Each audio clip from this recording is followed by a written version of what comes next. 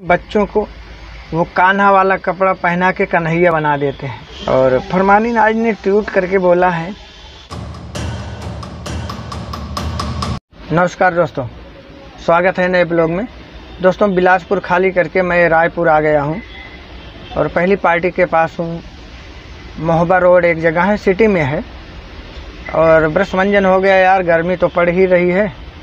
साढ़े आठ बज रहे हैं, चलते हैं, कुछ नाश्ता पानी करके आते हैं। और आप लोग वीडियो में कंटिन्यू बने रहें दोस्तों। और अगर नए आए हैं तो प्लीज़ चैनल सब्सक्राइब कर लें। तो चलिए दोस्तों, चलते हैं। दोस्तों, ये है वड़ा और सब्ज़ी। ये छत्तीसगढ़ का अच्छा नाश्ता है, जैसे यूपी वगैरह का समोसा है।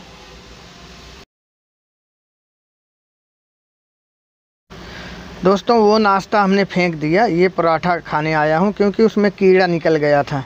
ठीक है दोस्तों?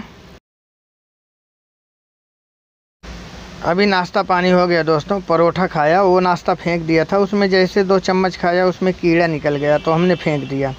और ये देखो, वहाँ वो पराठे की दुकान थी, वहीं पर हमने परोठा खाया।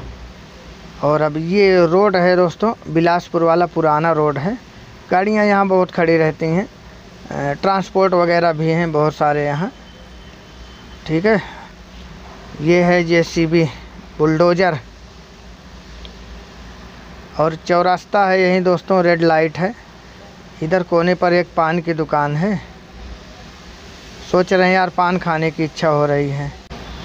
तो दोस्तों, चलते हैं पान की दुकान पर।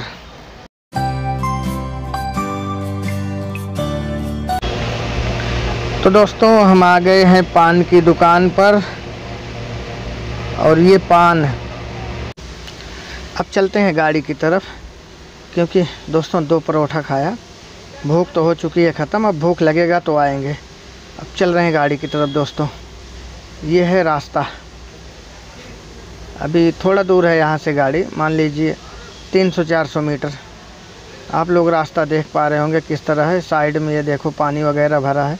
इधर खाली जगह है अभी, घर भी बन रहा नया। अभी थोड़ा फाका टाइप का है ये। है तो मेन सिटी में, लेकिन फाका टाइप। और ये ब्लैक वाला गेट हमारा कंपनी है, कार का। दोस्तों, मैं एक चीज़ देख रहा हूँ, काफ़ी ज़ोर शोर से इसका ट्रेंड बढ़ता जा रहा है कि कृष्ण जन्माष्टमी को लोग क्या है, अपने बच्चों को वो कान्हा वाला कपड़ा पहना के कन्हैया बना देते हैं। लेकिन उसके साथ साथ और कुछ चीज़ें भूल जाते हैं लोग।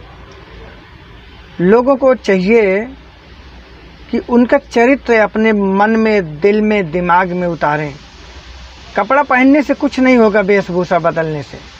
कन्हैया का अगर वेशभूषा पहन लिया जाए, बदल लिया जाए, उनके जैसा दिखने लगा जाए तो उनके जैसा हो तो नहीं सकते ना? उनको जैसा तभी हो सकते हैं जब उनका चरित्र उतारेंगे, उनके रास्ते पर चलेंगे। है कि नहीं?